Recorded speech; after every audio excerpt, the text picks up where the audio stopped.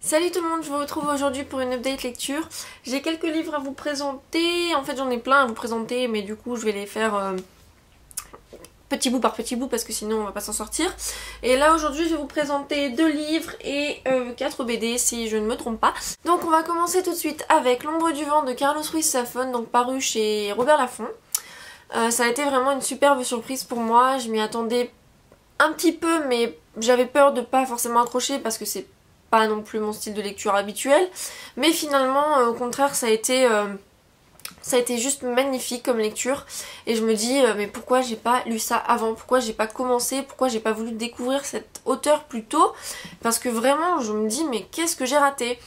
En fait donc comme je l'avais expliqué dans le IMM ou quelque chose comme ça le prologue de cette histoire qui est le cimetière des livres oubliés, je l'avais étudié en terminale L pour ma spé espagnole et c'est vrai que j'avais vraiment beaucoup aimé sur le moment. Une amie m'avait même prêté le livre.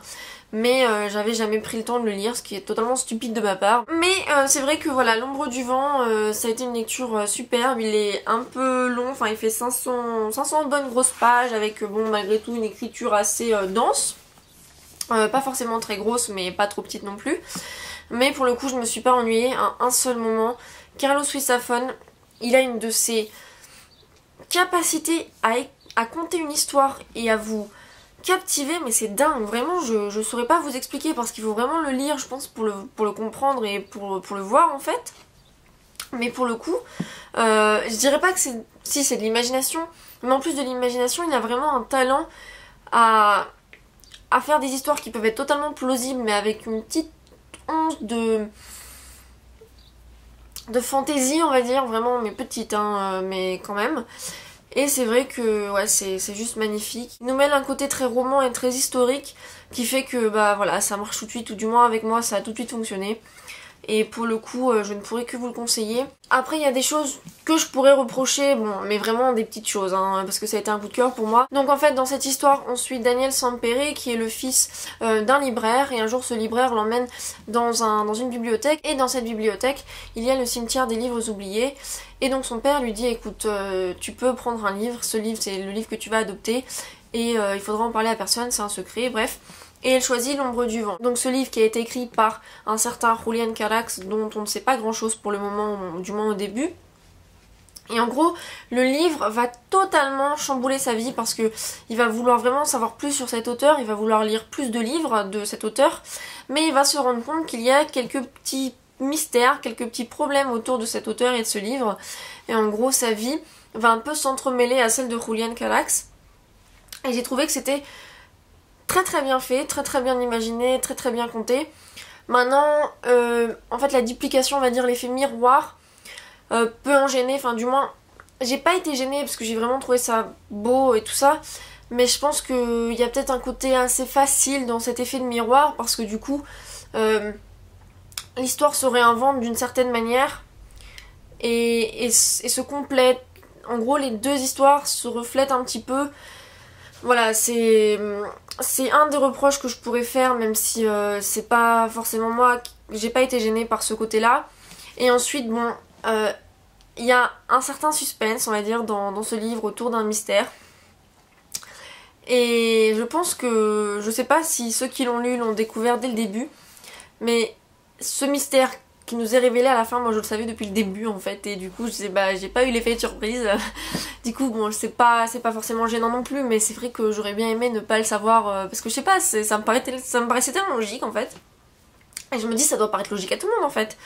Mais je me dis si ça a été fait comme ça, euh, il y a peut-être des gens qui, qui, se sont dit oh dis donc quelle surprise Mais pour moi ça a plutôt été euh, ouais c'est ce que j'avais dit quoi. Mais, mais non, non, c'est un, un, super livre et il y a vraiment énormément d'émotions. Pour le coup, on peut. Je dirais pas que j'ai ri, mais il y a des choses qui m'ont fait sourire. Euh, il y a des choses qui m'ont vraiment un peu bouleversée. Enfin, c'est tellement bien écrit, c'est tellement poétique qu'il y a des choses qui sont vraiment très très belles et qui sont très très poignantes. Euh, il y a quand même des révélations qui, m'ont un petit peu prise de court. Hein. Euh, ça, bon, à part la, la, le vrai gros mystère, bon, ça je le savais, mais il y a certaines révélations qui m'ont quand même bien. Je me suis dit, ah, quand même, t'as poussé un peu le bouchon un peu trop loin, Maurice, hein. Et je me suis dit, ah oui, quand même, euh, ça je l'avais pas vu venir. Mais, euh, mais sinon, non, c'est vraiment super. Il y a beaucoup d'action. Enfin, l'action, on va pas dire que c'est du Expendables, hein, euh, pas du tout, c'est pas le même genre. Mais euh, ouais, il y a, y, a, y a, pas mal de choses qui se passent, quoi. Et, et aussi, du côté des personnages, bah, il y a une belle palette de, de personnages différents. je l'ai lu il y a quelques semaines maintenant, deux semaines peut-être. Et comme vous le savez, déjà rien qu'après une lecture, j'ai du mal à retenir les prénoms. Donc là, me demandez pas parce que je saurais pas vous dire quel personnage j'ai préféré ou pas. Mais vraiment, c'est tous les personnages sont intrigants, tous les personnages apportent quelque chose à l'histoire. Euh, il y, a effectivement des personnages que j'ai préférés à d'autres, auxquels j'ai pu m'accrocher plus facilement parce qu'ils sont adorables ou parce qu'ils sont attachants. Il y a des personnages qui m'ont un peu inquiété. Il y a des personnages pour lesquels on ressent de la haine et on s'allie aux personnages qui sont un peu plus, euh, on va dire, gentils si on veut faire cette distinction entre les gentils et les méchants.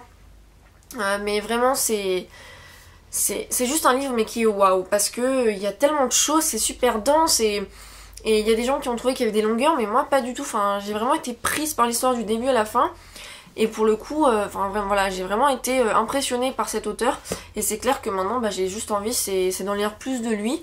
Et je le conseille vraiment à, quiconque parce que euh, bon après je sais pas à partir de quel âge, bon je dirais pas avant 13-14 ans, mais à partir de là, franchement c'est vraiment un livre que je conseille parce que voilà, c'est juste euh, exceptionnel. pour moi en tout cas. Donc le prochain livre que j'ai à vous présenter, il s'agit de Ne t'inquiète pas pour moi d'Alice Creepers, paru chez Livre de Poche dans cette collection que j'ai. Et vous pouvez comparer ce mastodonte à ce petit livre minuscule. Ce n'est pas grand chose, surtout qu'il est écrit en post-it, donc vous voyez que il n'y a pas grand chose à lire, mais c'est pas pour autant que le contenu est insatisfaisant, au contraire. Donc il faut savoir que ce livre, quand je l'ai acheté, je ne savais pas du tout comment attendre parce que je n'ai pas lu le synopsis. Euh, en gros, j'avais lu l'encart euh, qui était sur le stand euh, du livre de poche au salon du livre qui disait livre parfait pour mère et fille. Et donc j'ai une super relation avec ma mère. Donc je me suis dit super, je vais l'acheter comme ça on pourra lire toutes les deux et tout, ça va être cool. Mais en fait, j'avais pas capté que c'était une histoire triste. Et du coup, comme j'ai une super relation avec ma mère, bah du coup, euh, c'était un peu triste. voilà, ça, ça coule de source, ça va de soi. Euh, en gros, l'histoire, c'est donc euh, une mère et une fille qui s'échangent des mots sur le, sur le réfrigérateur parce que la mère travaille énormément et elle ne, se, elle ne se croise pas souvent. Et donc, un jour, Claire apprend que sa mère est malade, ce que j'aurais su si j'avais lu le synopsis.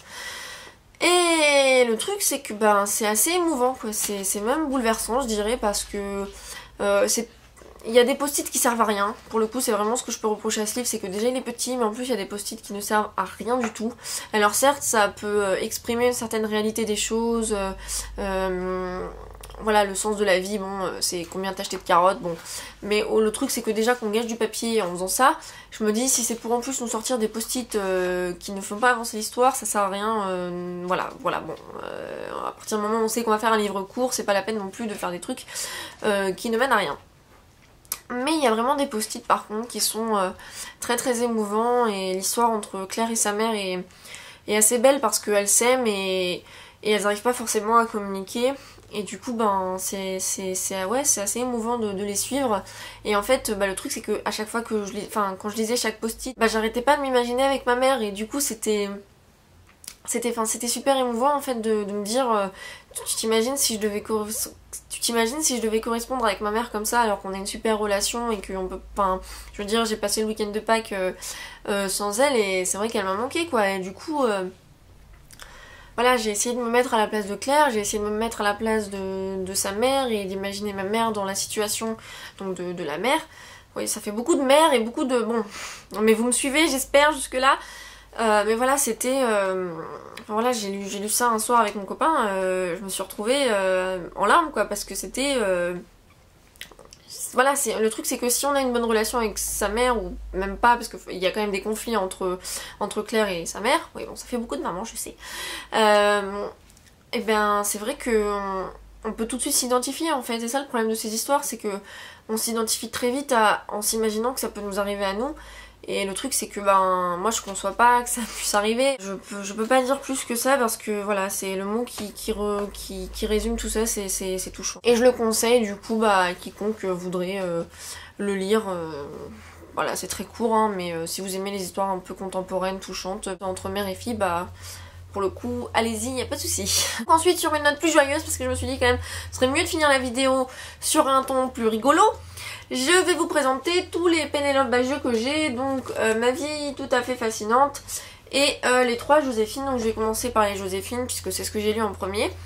Donc je vais pas les présenter individuellement parce que euh, c'est très court et que c'est plutôt on va dire l'entité, la globalité qui, est pas mal. Donc je vais vous montrer un petit peu les dessins pour commencer. Voilà c'est vraiment un style que j'apprécie énormément. voilà c'est super. D'ailleurs je vais vous montrer les couvertures aussi. Voilà.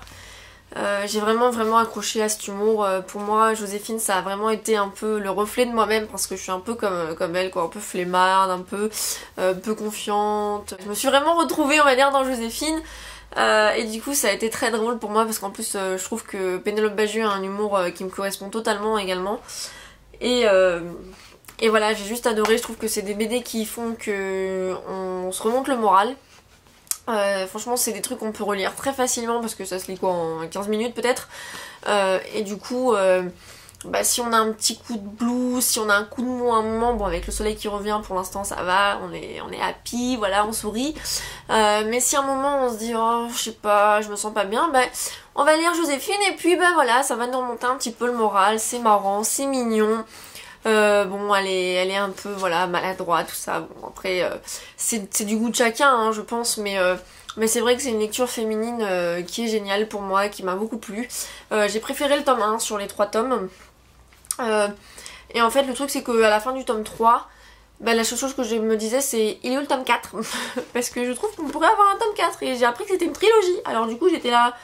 Ouais, mais quand même, enfin, Pénélope, s'il te plaît, ok mais euh, non, non, j'ai vraiment été très satisfaite de ces achats-là. Et euh, c'est vrai que maintenant j'ai très envie de lire plus de Pénélope Bagieux.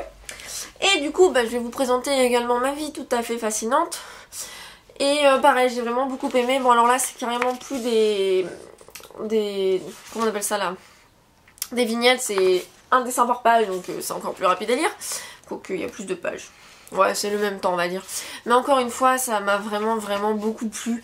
Et voilà, c'est un humour que j'aime beaucoup, c'est un humour que le même humour que moi, c'est vraiment ça me correspond. Une page que j'ai vraiment beaucoup aimée par exemple, c'est celle-ci. Donc il dit connasse là-haut, alors on se dit ah qu'est-ce qui se passe? Donc là on voit une jeune fille très bronzée, comme ça. Et elle lui dit et toi alors tu es pas partie du tout? Et là on voit euh, Pénélope totalement malade avec un air euh, très, euh, très vert et qui lui dit à ton avis, enfin voilà avec un point d'exclamation, enfin un point d'interrogation. Donc c'est vraiment euh, voilà, le genre d'humour qui, me plaît, euh, qui me va. Et du coup ça m'a fait passer un bon moment. Et je les recommande parce qu'ils sont sortis en poche du coup euh, ça fait moins mal au porte-monnaie parce que quand même acheter ça 15 euros c'est quand même voilà ça peut laisser à désirer mais franchement pour le prix que ça coûte et pour le, le, bon moment que ça fait passer même si par exemple cet été je sais pas à la plage ou sur la pelouse dehors dans votre jardin. Enfin vraiment c'est une lecture super pour le printemps et l'été et, je vous la recommande si vous aimez ces petites lectures girly. Donc voilà je les conseille vraiment à tout le monde. Euh, si vous avez besoin d'une lecture euh, quelconque euh, marrante, c'est vraiment quelque chose que je vous conseille. Et donc pour finir, je vais vous présenter pour le meilleur et pour le... Attendez, je sais pas avec la lumière si vous allez voir quelque chose. Pour le meilleur et pour le pire de Suzanne Roy. Encore une fois je sais pas comment se prononce son nom de famille mais c'est pas grave. Donc là c'est une romance en fait, une romance francophone. Euh, que j'ai bien aimé, c'était sympa, donc en gros c'est l'histoire de... Je crois que son prénom c'est Jennifer, à la personnage principale, mais encore une fois je ne suis pas totalement sûre. Euh, par contre le personnage principal masculin c'est Bruno, ça y a pas de souci. Et en gros, donc euh, Jennifer et Bruno s'étaient rencontrés quand elle avait 20 ans. Ils sont restés mariés deux mois et puis elle a fini par repartir euh, à Montréal parce qu'elle avait son avenir devant elle et que en gros Bruno voulait qu'elle soit femme au foyer, qu'elle soit sa femme, voilà, vous imaginez un petit peu euh, les, familles espagnoles et le rêve un peu américain, Amérique du Nord, canadien. Et en fait, 8 ans plus tard, Bruno arrive à Montréal comme ça, sans s'être annoncé, pour lui dire écoute je veux le divorce parce que je vais me marier. Et euh, du coup, ben, il peut pas être marié à deux personnes en même temps, c'est pas logique. Et en gros, il lui dit écoute, euh, comme je vais me marier bientôt, il faut que tu viennes à Barcelone avec moi parce que si on les fait par euh, interposer et que tu sois pas sur place, et ben ça va prendre trop de temps. Donc en gros, elle part en Espagne et vous imaginez après ce, que, ce qui peut se passer. Enfin, voilà, c'est une romance, hein, vous imaginez bien que bon, tout est bien, qui finit bien, tout ça, tout ça. Donc c'est une romance qui m'a beaucoup plu, ça se lit assez vite, vraiment j'ai bien aimé le style de l'auteur, j'ai bien aimé un peu c'était caliente on va dire parce qu'il y a une bonne partie qui se passe à Barcelone et c'est vraiment une ville que j'adore, un pays que j'aime beaucoup. Ce que je peux reprocher à ce c'est vraiment le, personnage principal féminin. Pour la première fois, je vais surprendre beaucoup, mais le personnage masculin est beaucoup plus, beaucoup plus agréable à vivre. Je suis féministe, mais totalement. Mais alors là, le personnage principal féminin, mais c'est plus du féminisme, c'est juste... Euh, elle est insupportable en fait. Elle se croit vraiment indépendante et, et, voilà, elle se veut pas fragile, elle se veut... Euh, voilà, enfin... Mais elle a une grande gueule en fait. Elle a une grande gueule, elle est toujours à se plaindre, en gros... Euh, euh, elle est super têtue et du coup c'est juste insupportable. En fait les moments où elle est agréable c'est quand elle est vulnérable et qu'elle montre qu'elle est vraiment humaine. Mais vraiment, je suis, pour que la femme soit indépendante de l'homme, ça y a pas de souci, mais là c'était vraiment trop exagéré. Et du coup, ça fait que c'était un personnage assez exécrable et pour lequel on n'avait pas forcément tout le temps de la compassion parce qu'on avait juste envie de lui dire écoute, c'est bon, il, il, a dit pardon, euh, il a essayé de te faire. Euh, euh, voir les choses en face, certaines voilà, mais à un moment c'est bon quoi, si, si t'as vraiment pas envie et que tu veux faire quand ta tête et te faire un caca nerveux, bah écoute tu rentres et puis tu, tu nous saoules plus quoi, voilà c'est ça. Donc c'est vrai que j'ai eu un peu du mal à accrocher à ce personnage principal, mais euh, c'est vrai que c'est dommage parce que l'histoire euh, se passait vraiment bien et il y a vraiment des côtés très mignons, très sucrés, des trucs drôles. Elle peut être vraiment sympa à des moments, hein. elle peut, elle a, beaucoup de sarcasme et c'est vraiment un humour que j'aime beaucoup, mais vraiment elle est, euh, elle est un peu brute de décoffrage quoi, c'est... C'est... Voilà, c'est un peu gênant au bout d'un moment. Mais au-delà de ça, c'est vraiment une histoire que j'ai appréciée. Euh, la fin, bon, c'était sans surprise. Euh, même si euh, j'ai trouvé qu'il y avait un certain effet miroir qui m'a pas totalement convaincu. Mais vraiment, en globalité, je crois que j'ai mis 3,5 sur 5 sur la chronique, sur le blog, ou 3,75, un truc comme ça. C'était vraiment pas mal, quoi. C'était sympa. En plus, j'ai bien accroché au style de l'auteur. Mais à la prochaine lecture de cet auteur, j'espère que le personnage féminin sera un peu moins supportable parce que c'est vrai que à des moments j'avais vraiment envie de lui foutre des baffes et pourtant je suis chiante hein. c'est pas le c'est pas le là pour le coup euh, j'aurais pu vraiment compatir hein, parce que j'en fais vivre de sacrées couleurs par, mon copain mais là non c'est vraiment du level euh, bien au dessus hein. mais bon après euh, c'est comme ça Bon, chacun, voilà, elle a voulu illustrer un personnage comme ça, bon, c'est aussi une question de choix. Donc voilà, c'était toutes les lectures que je voulais vous présenter dans cette update. Et je vous retrouve bientôt pour une nouvelle vidéo. Et en attendant, je vous souhaite de passer une très bonne semaine. Bye